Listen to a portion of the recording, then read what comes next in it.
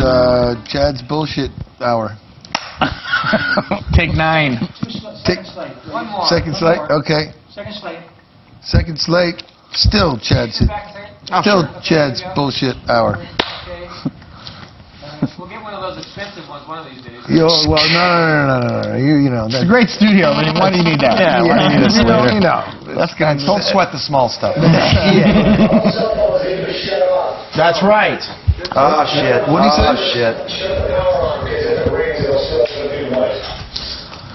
Look out. Damn it. Who's that talking? You guys are running a pro deal. The fucking Wizard of Oz in there. Yeah. Behind the curtains. Now. Man, come on, no man. Attention. No attention. It's a very important Which call means I'm leave waiting your phone for. on. I don't even know where my. I don't have mine on me, so I'm good. Okay. There you go. Oh, geez, look at all these guys. Billy Cobham. Fantastic. You guys like dig? The guys that You like them? Steve talked Dude, about. rules. Oh, okay. I don't know if you like them. I was just making fun. Three minute clips of all these guys. Okay, great. Wow. Uh, uh, you got any pert? Peart? Yeah, I wrote Pert down. Yep. You got Musicality, stupid. imagination. You got Terry, perfect. Terry, Terry will be Stewart. Copeland, speeding up. He's on Mosey time. Okay.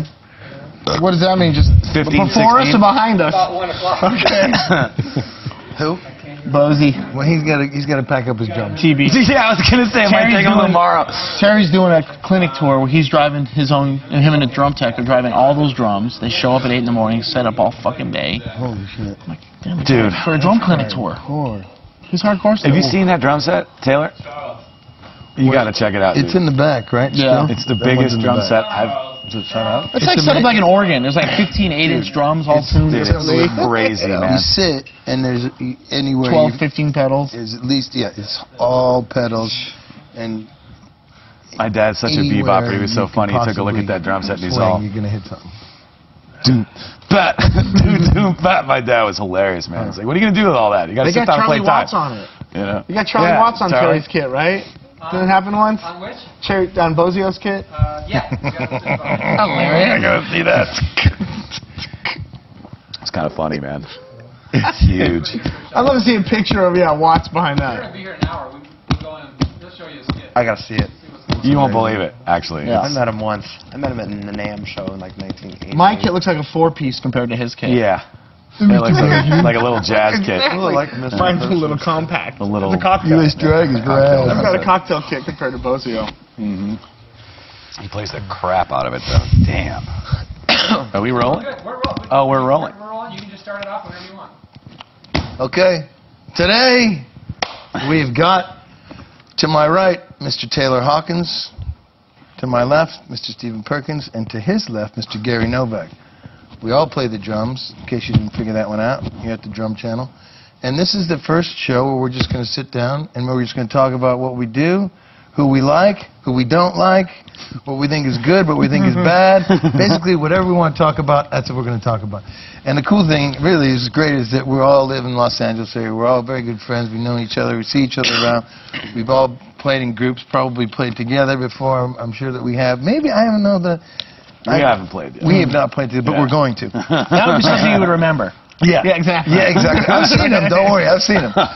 And uh, um, basically, just uh, I'm actually I'll start with talking to my friend Taylor over here about um, you know when what's what was your first uh, why did you start playing the drums, Mr. Hawkins?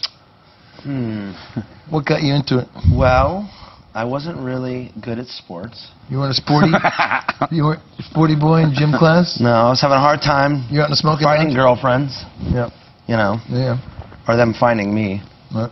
Um, and uh, Now, how old are you? I was I was like ten, Oh. and I, but I was getting into music. You know, like just like the music of the day, rock music and new wave, police and stuff. And my older brother was a like you know Did he play? an enthusiast. No, he didn't play really. You listened to all his records and stuff. Yeah. Yep. And um I don't know, my neighbor played drums and I wanted to play guitar actually cuz that seemed more like a, a you know, a way to get noticed. Chicks. You're right. You know, chicks go to the dudes out front, right? I've noticed that in my band. Yeah, yeah, exactly. Me too. yeah. And uh, you know, so but I just sat you know, I so I plucked around on his guitar. This is my my neighbor Kent Cleater, wherever you are. I haven't seen you in a long time. he had a drum set, just weird, crappy drum set. He actually made his own tom stand out of like two by four, and it was just. Ruling. I mean, I thought it was the best drum set That's in the world. cool, you know? yeah. Kind of cool. though. But I um, think so. and uh, so I would, and he had guitars. He could play a little bit of guitar, but he and he could play a, a little bit of drums too, just sort of basic rock type drumming. And um, and I would try and play his guitar, and I just seemed like that was going to take a really long time. and so I didn't quite have the patience. I wanted to be in a band from the second I heard, you know, I got into rock and roll. That was just the goal at that point. Okay, Yeah. I want to be in a band. Yeah, yeah, yeah. You know, I like music. I like the way rock and roll makes me feel, and I like the way music makes me feel. And it looks cool, and all those people on my record covers look cool, and Yeah. you know, I want to be there. Yeah. And uh, so, I, so I sat down on his drums after a while, and he's like, "Why don't you just try hitting the drums a little bit?"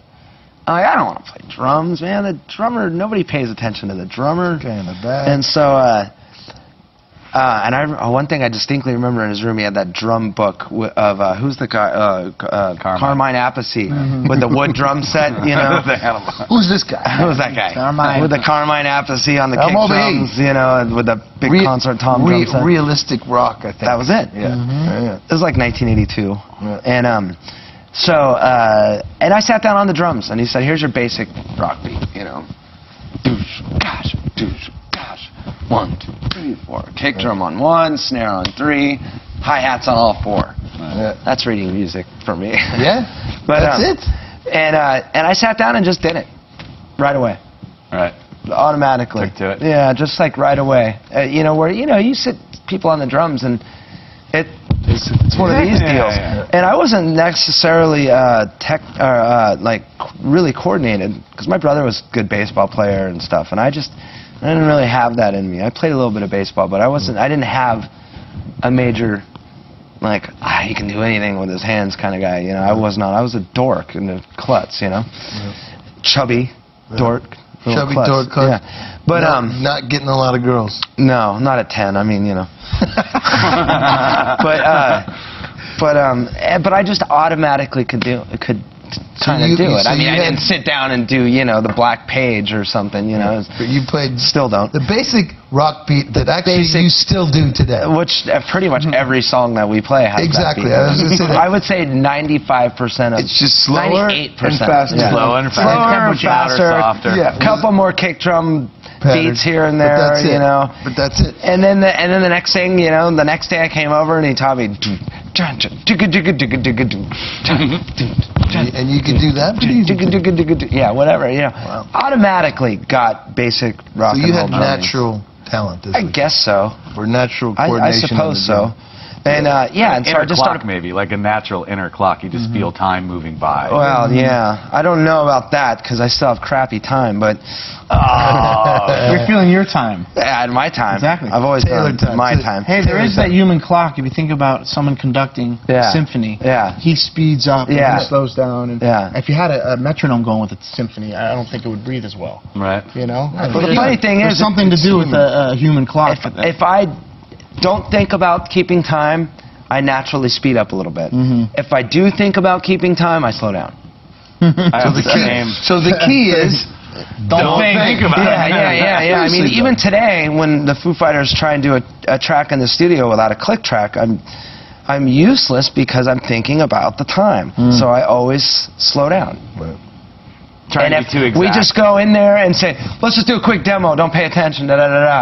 I go in there, I play a, uh, a basically pretty steady drum track that might speed up a little bit, but, But that's you're not okay. thinking about it. but once fine. the red light goes on, if I don't have a click track saying, That's It needs to be in here somewhere. Yeah. I Well- will slow down. I mean, I've had a few. Uh, there's, you know, there's like maybe one or two, definitely one on the last record, and maybe one on this record where I didn't use a click. But for the most part, I use clicks in the studio. Anyways, getting back to the story. Yeah. Uh, see, you don't have to be great, kids. Uh, but you can be. But you can be if you want. He is, very modest about it. But But anyway, so yeah, I automatically just started breaking out my records and trying to play along to them, and some were, you know, definitely suited for my 10-year-old one week of playing drum style. I played Tonight at the Opera by Queen and, s- and So you're saying Roger You. Taylor basically has the talent of a one-week-old drumming ten-year-old. No, I'm not saying He's that. great at translating. This is I'm not saying that. Kidding, we're, I'm not saying he's good, buddy. We're I'm not saying I was playing it well either, but I was No, no, no, like, we all- You understood it. Yeah, I Yeah, understood it, and I was playing along to it. Not all of it either. Some of it was obviously difficult, but you know that's how I learned. Yeah. Period. And Playing you played along with you, and, and Playing the records. Yeah. Period. I mean, I, I Yeah, yeah. took. You took no I've no taken a formal f- lesson. No, I've taken a few, you know, and I always hate them, Yeah. which is not good, you know. And I wish I paid more attention and had a little bit more um, Patience. patience and, and all that kind of stuff. Yeah. You know, like because I wish I knew all my rudiments really well and could use them because I don't really use rudiments well. I mean, I'm not great.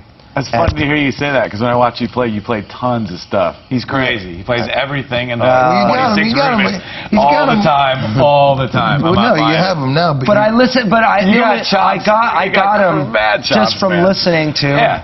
Neil mm. Peart Absolutely. or Stewart Copeland. But you do have mad chops. You got a lot of chops. They're all kind of stolen and fake. I don't learn the real way to do it, and I don't think there's anything necessarily wrong with it. And that. there is no real or wrong way, man. There's Yeah, a spirit. yeah. Yeah, You yeah. know, there's a technique that Buddy and, and some of the cats and, and Novak has got that technique, and then there's a technique that maybe we can have. You know, that's a little more. more self-taught. Well, yeah, or yeah, a little more, you know, caveman. But hey, you know what I mean? Oh, you- whatever works, man. Exactly. Whatever And- works. And I think if you think about the, the trap kit, it's not that old of an instrument. You know, they're, they're still trying to figure out what the old. right way to play the damn thing is. Uh, yeah, You know what I mean? yeah, yeah. Think about the drummers today that can pull the ideas of the drum and bass stuff or drum patterns that are written with fingers. Yeah. You know, when that what they're putting on the drum set now is that the right way? Yeah. Or, you know what I mean? Yeah, yeah, yeah. Well, it's interesting though to me. You talk about Yeah. technique. You know, it's funny when I watch you play Taylor because there's like times where, you know, everybody's got like their different. We were talking like different technique or different abilities, but like I can't do things that you can do. I just can't do them. No, there's certain things like keeping up tempo, super fast, aggressive beats at that kind of volume with all the kicks being a certain volume, like kind of stiff. Yeah, You, you know, we, we would talk about that. I like, think rock things- and roll, for the most part, a lot of times, especially when it's fast, should be so somewhat stiff. kind of. I don't know why. Real straight. I, I, I, some should swing, obviously. There's stuff that Yeah. should swing, you know. But I, I couldn't But do that if I practiced for a month. Just go, you know, and have everything be real consistent and not light, lighten up. Mm. You know, not kind of sound I like. still lighten up, but yeah, that's been a thing that I've been working on, trying to think about a lot when I'm playing live in the Foo Fighters is because a lot of our songs are, I Uh, guess you would call it a punk rock kind of thing or whatever. Yeah. I, you know, I'm not a big punk rock guy, so I'm not gonna say I that's my thing, you know. But a lot of songs are do do gotta do do gotta do gotta you know Up-tempo and, aggressive. And when you're playing up tempo aggressive stuff, and you're playing hard, just because I naturally tend to hit the drums way harder than I need to, Right. and I don't. It's not. It's really nothing I think about. I wish I didn't sometimes. You know, you'll do stuff like that. I don't know if you guys have ever come and think about this, but and I actually asked Neil Peart one time I met him about it, and because when you hear Neil Peart play, he'll when he does something, and I and you do as well. I bug you about it all the time. He'll do a fill down the toms after just playing so hard and aggressive for a whole verse, and all the volumes will be just as loud as his Yeah. downbeat on his snare, and that's hard to do. And I still fight with that. I'll still be going, gotta do, do, got, you know, mm. to where your fills are not as Powerful. prominent and mm-hmm. powerful as things. So that's what I'm. Mm-hmm. I mean, I, that's a good thing to know. It doesn't matter how fucking good you are. yeah, in a way. You're always Working on stuff. you're always working on stuff. And There's if- a potential, yeah. And, and if you and and it's good to have some sort of ego because to get up on stage in front of people, you have to have some sort of ego. You have to know that you can do it and play. But it's also you're, and even if you're, I mean, Dennis Chambers. There's always something to work on. You know? Yeah, There's definitely. always something to work on. And if you don't think there is, then quit. then you're you're a jackass. I don't know what Dennis Chambers needs to work on. Right. Yeah, but there's But a there's something. There's a potential. Yeah, there's a, there's a potential in his head that he hasn't gotten to. Exactly. He's like, I know I can get to this spot. We all think, well, he's already gotten there. He's thinking, no, he hasn't. The same with Coltrane. That's why he practiced 18 hours a day. It's like mm-hmm. Train, the best, most emotional player of all time. No, he's still working. Uh, he was still working on it until the day of he the time. died. you know? Absolutely. And I'm sure Monk and all those cats would do the same thing, and the drummers in, in the They're- same world. Those are true artists, and I think that true artists always need to challenge themselves Yeah. to keep moving forward, to, Yeah. or else they. I just don't see guys like that thinking, "Oh, uh, okay, I've, I've, I know everything there is. I've got it now." I'm Of course. now I'm playing. I mean, you just have to keep trying to get better as a musician, as a songwriter, as a player, as a person, mm-hmm. and all those things come into, you know, what influences you, and you want to keep changing and growing. And I think any real artist or musician has to do that. So I mean, as a youngster, we're more obsessed that we have more time for our art. Right. Now, of course, we have a house and a wife and a car payment. I never- I It's never hard get to pla- practice. It's hard to Child. practice that much, but you still have it in you. You still want to. You're obsessed about getting to that point. Yeah. And as a, as a youngster, you have all those hours. You know, when I was lucky and I get to join a marching band. That's where I met Navarro. There was eight other drummers, Yeah. and we were all competitive. We all had all the time to reach, you know, to that that point.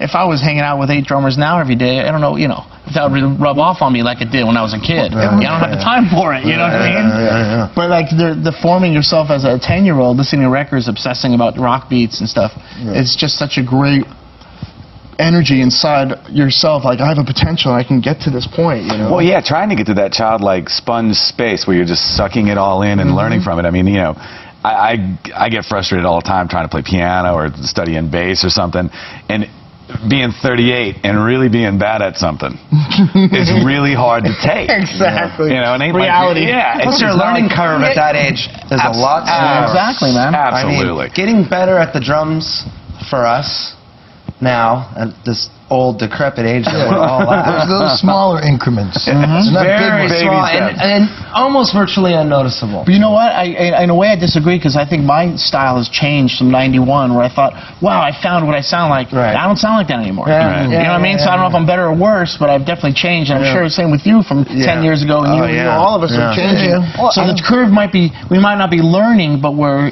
evolving. Evolving, You know, No, and that. Not that. that less is more, but if you listen to Dazed and Confused, then listen to Kashmir. Yeah. 10 years apart, John Bonham yeah. realized less is more. yeah, Doesn't yeah, mean one is better than the other. Yeah, yeah. You know? I think it's just a, a, a really it's maturing. Yeah. As Yeah, a, your as a interpretation changes, Exactly. doesn't it? And how you so. hear things, Yeah. you know? I mean, you, you, you, I always played more when I was younger. because- Exactly. But I think because you're a kid, and you, if you can do something, do you it. want to do it all the time. All the time.